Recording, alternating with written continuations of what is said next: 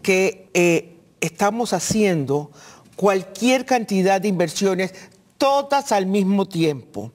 Eh, no solo eso nos tiene la vida hecha cuadritos, sino que a mí me parece que los próximos gobiernos, o sea, cuando lleguen a la, presidencia, si, milagros si van a encontrar eh, conchitas de colores.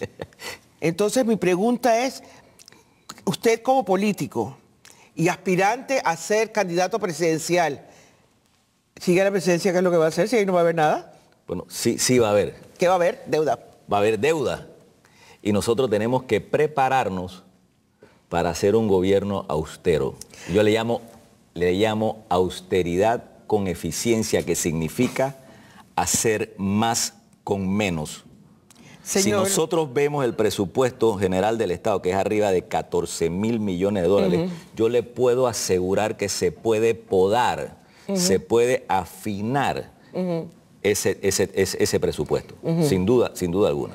O sea, hay muchos recursos que se mal utilizan, no se utilizan de manera eficiente. Señor, eh, a mí me llena de emoción las cosas que usted dice, eh, pero me parece que cuando usted llega a un lugar donde está totalmente devastado, donde no queda nada, o sea, ahí no hay ni centavos que recoger. ¿eh? Bueno, pues es el gran reto, es el gran reto de este país.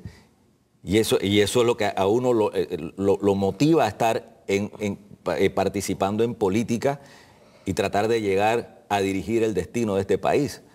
Si no, yo no estuviese aquí sentado hablándole a usted, yo estuviese en las empresas de nosotros trabajando. A mí sí me motiva cuando yo me levanto todos los días, hay, hay algo, el propósito. ¿Cuál es el propósito tuyo de, estar en política y de ser, como dije al principio del programa, el primer obrero de este país? Nosotros tenemos que ser un instrumento, el presidente de la República, un instrumento para ver qué vamos a hacer con este país tan desigual. Pero sigo en la misma, o sea, eh, cuando venga las elecciones, la persona que sea electa, o sea, no tiene conchitas de colores, le he dicho. Y entonces usted me, sostiene que hay que invertir. ¿Cómo va a invertir? ¿Endeudándonos más? Invertir en las prioridades. Hay prioridades que ¿Y dónde va a sacar el dinero? El dinero existe el dinero se, saca. Usted no puede llegar allí pesimista y decir, aquí no vamos a tener recursos. Lo que sí tenemos que decir es, bueno, vamos nosotros a hacer más con menos. ¿Qué significa? ¿Qué es lo prioritario? Esta gran cantidad de viajes al exterior, esta gran cantidad de viáticos al exterior, esta gran cantidad de viajes al interior, viáticos al interior, esta gran cantidad de recursos que hay, de contratos, de asesorías, de, una cantidad de funcionarios que verdaderamente no tienen ninguna función específica. O sea, tienes que priorizar en los temas que son los prioritarios en este país. No te queda otra, no puedes seguir gastando como si fuera un gran tubo. Nosotros tenemos que hacer más con menos y eso se puede hacer. Yo no tengo ninguna duda que el próximo gobierno, con los ingresos del canal, con los ingresos de los impuestos, nosotros podemos hacer un buen excelente gobierno y dejar sentadas las pautas y ver cómo esa polarización que hay en este momento de los panameños, porque se va a agudizar, podemos ver cómo la minimizamos. Este país va a quedar muy polarizado. Independientemente de la opinión que usted tenga como político y que yo como profesional de periodismo tenga, o sea, hay una cosa que tenemos que tener en cuenta. Las generaciones futuras recordarán a Martinelli como el hombre que cambió el sistema de circulación vial, eh, el hombre que hizo la, red de hospitales, la ciudad hospitalaria, eh, el hombre que construyó carreteras. Eh, o sea, lo único que va a faltar va a ser hacer un nicho para colocarlo ahí y adorarlo, ¿no? Y el, y el hombre que ha ido destruyendo las instituciones democráticas de este país. Ah, ¿Pero quién se acuerda de eso?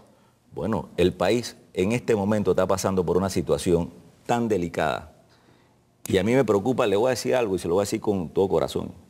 Yo espero que el presidente de la República termine estos sus cinco años. Pero tiene que hacer correctivo. Si el presidente de la República no hace correctivo, yo veo la ingobernabilidad a vuelta de la esquina. O sea, hay que hacer correctivo. No podemos seguir en estos conflictos y acumulando conflictos, porque de repente va a ser tanto los conflictos y tantos los problemas que estamos llevando el país hacia una ingobernabilidad. Y eso a nadie nos conviene. Yo soy un miembro de la oposición democrática, pero soy panameño por encima de todo. Y yo no puedo sentarme aquí después de estar dos, tres días leyendo todo lo que he estado leyendo a nivel internacional, corroborando algunas cosas que se, que se dijeron hace mucho tiempo atrás. Inclusive yo aquí en una entrevista, creo que fue con Castalia, fui el primero que dije, los contratos con esa empresa italiana, Fin Mecánica, y todo ese relajo que se ha dado a través de, este sinvergüenza la vítola, que inclusive le dijo al presidente de Capo, le dices tú, le, dijo, tenemos que ver quién le recomendó. Para mí es un, él es un atrevido. Y desde un principio, toda esa sonrisita que yo veo en, en, las filmaciones cuando llegaba la vítola en el medio de Berlusconi y de Martinelli. O sea, ¿qué se creyó ese hombre? Y nosotros como panameños tenemos que hacernos respetar. ¿Cómo es que llega aquí un, un italiano a decirle al presidente Capo? A mí me dice capo y yo le digo, usted tiene que respetar, usted es un irrespetuoso. Entonces, por eso es que el país está así, el país está enredado y se puede complicar con lo que está pasando a nivel internacional en Italia, con algunas cosas que estamos olfateando que pueden pasar en el país. O sea, hay un temor a que, Hay angustia, hay angustia. ¿Angustia de qué? La ciudadanía, las bases. Este es un, país, todos los meses vemos el costo de la canasta básica aumentando, vemos un paro por aquí, vemos los trabajadores del corredor por acá, vemos a los técnicos de salud, eh, o sea, y puede llegar un momento que se hace ingobernable. Y ninguno de nosotros, por lo menos yo, yo que soy miembro de un partido importante de oposición democrática, yo no quiero ver el país por el rumbo que estoy viéndolo. Entonces yo no llego a este, programa, a este programa, se lo usted, yo no llego a este programa a estar echando cuentos, a estar, a estar posando de, esta pos, mira allá, inclusive me dicen, mira la cámara. O sea, yo, llego aquí porque yo me siento que, tengo por lo menos que alertar esos contratos de Finmecánica y todo lo vinculado a este caso. Suspéndanlo inmediatamente, presidente. Suspenda esos contratos. Pero el ministro de, de, Seguridad, que ahora, es, que ahora es canciller de la República, él ha señalado que eso no tiene ninguna ¿Ninguna secuencia? Ninguna consecuencia. Si no tiene consecuencia, suspéndalo. Y yo, yo lo suspendería, y le voy a decir por qué. Yo lo suspendería porque hay demasiadas cosas que tienen esos contratos contaminados. Todos esos contratos están contaminados. Vamos a regresar inmediatamente después de la pausa con Laurentino Nito Cortizo, aspirante a la candidatura presidencial por el PRD.